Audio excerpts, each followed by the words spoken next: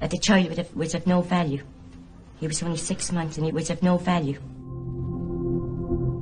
One day someone did park a car here in front of Linton and Robinson, the hardware store in Derry Street.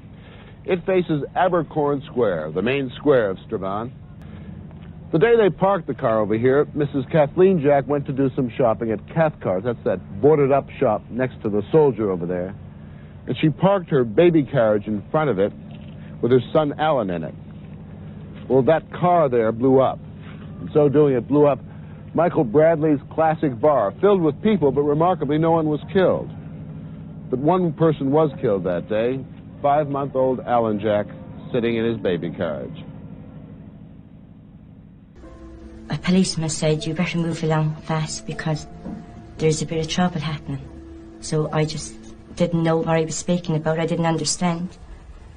And I just moved along as quickly as I could, and the next explosion just happened and Alan was just killed outright in the pram. I didn't get any compensation because she said that the child was of no value. He was only six months and he was of no value.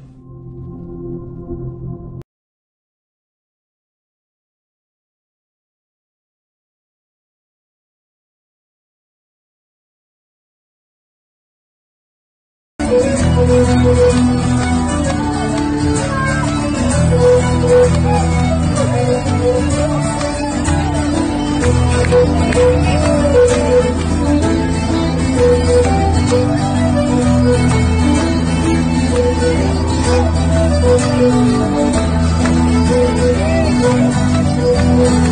was only six months and he was of no value.